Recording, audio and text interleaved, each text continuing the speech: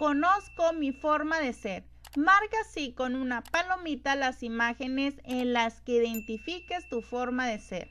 Bueno, aquí tenemos esta imagen de este niño que es enojón, de este niño que es amigable, de este niño que le gusta mucho escuchar música, esta niña que es triste, este niño que le gusta mucho dibujar y a esta niña que le gusta mucho eh, platicar con sus amiguitos cuando se encuentran tristes.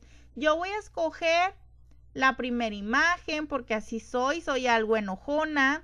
También aquí me gusta compartir lo que tengo con los demás, me gusta escuchar música y también me gusta mucho dibujar.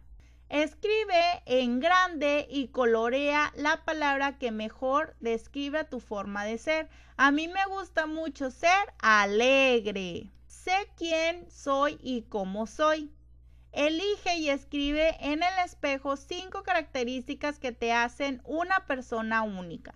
A ver, aquí tenemos algunas palabras que son amable, entusiasta, optimista, ordenada, tenaz, sincera, segura, exigente y rápida. A ver, voy a poner las palabras que más me hacen una persona única, que es amigable, ordenada, tenaz, segura y sincera.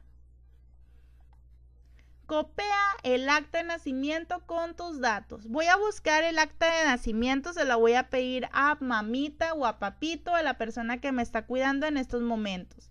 Y voy a copiar mi nombre, mi primer apellido y mi segundo apellido. Mi nombre es Nicole Díaz Tapia. Soy sexo femenino, nací el 25 de mayo del 2028 en Ciudad Victoria, Tamaulipas. Aquí voy a poner los datos de mi mamá y de mi papá. Mi papá se llama Kevin Díaz Cruz y es de nacionalidad mexicana. Vamos ahora con los datos de mi mamá que se llama Mara Tapia López y también es de nacionalidad mexicana. Así es como ustedes van a llenar su Así es como ustedes van a llenar esta copia de su acta de nacimiento con los datos que ustedes tienen en la copia original de nacimiento de ustedes, ¿ok? Te cuento que la injusticia se genera cuando los derechos o las responsabilidades no se cumplen de manera equitativa o igualitaria. Observa las acciones y únelas con una línea a sus consecuencias. A ver, aquí tenemos estas imágenes, ¿verdad? Donde este niño está estudiando para obtener una buena calificación, para obtener este 10. Así que lo vamos a unir con esta línea.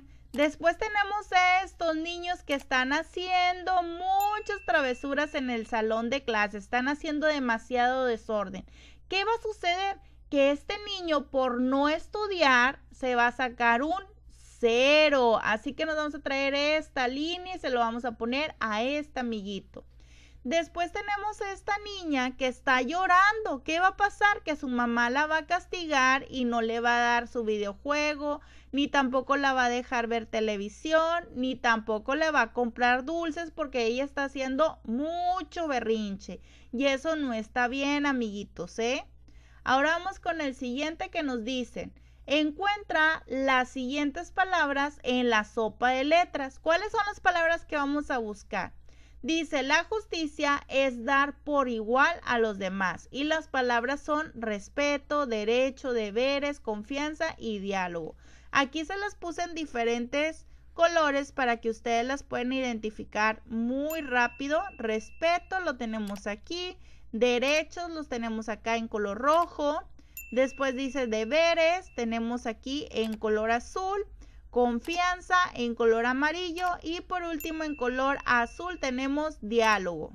Hemos llegado al final de esta clase. Si te gustó, regálanos un like. No olvides suscribirte a nuestro canal Cecilia E y Annie. Nos vemos para la siguiente clase. Adiós, amiguitos.